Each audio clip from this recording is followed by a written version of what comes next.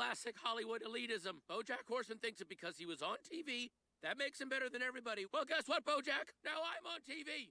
So now I'm better than everybody. That's right, Neal. You didn't even have dibs, you stupid sea cow. You guys think I should call in and set the record straight?